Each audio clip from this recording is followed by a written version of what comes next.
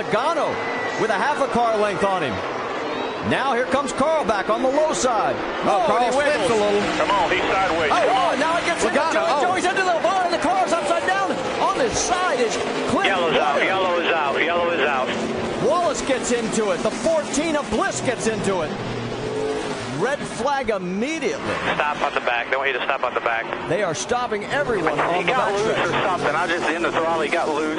I touched him, guys. See, Carl got loose right there. So did Joey. Joey's Joey got out. loose. Yeah, Carl never touched He him did right not there. him. No, he never did. He never. He thinks he did, but he didn't. Yeah, no, he never touched him.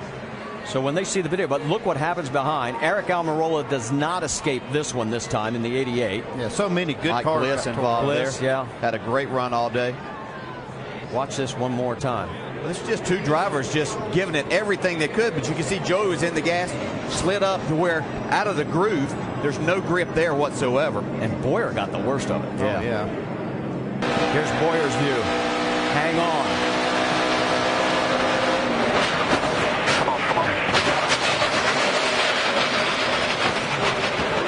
Wow, that was wicked. Here is the contact. Wow. That, that looks more like an open wheel car situation where, you know, they just ride up on the wheel and get airborne. In that situation, I'd almost worry more about Joey Logano because that right front wheel of, of that 33 was almost in his window. Oof, wicked crash. I don't know if uh, you know if Carl got into him or not. He certainly, you know, he got him loose, but uh, that's racing. I mean, green white checker to place this tight. Um, yeah, I mean they were both way up out of the groove. That was pretty wild, man. I tell you, I thought I was going over the, the wall, and that'd have been really scary. I was just glad the wall kept me, you know, in the racetrack because uh, I was afraid I might be going over. But um, pretty wild finish. I haven't seen the replay, so I don't really even know what happened yet. But um, you know, uh, I don't think you guys are trying to get it up, but um, just seemed like I either got tagged or I think the I think just Carl coming up took the air off me enough to make me loose. You see him, he's yeah. I just think as he was coming up the track, you know, it's these uh, those shark fins they got on. When you get a car underneath you right about that point, you feel the car starting to get loose and. Uh, it's unfortunate, man. I felt like we had something to, to win with these things with the GameStop car, and we had a good day for sure. Um, just uh, we're trying to get that little bit there at the end, and um, just wishing didn't tear up as many cars as it did.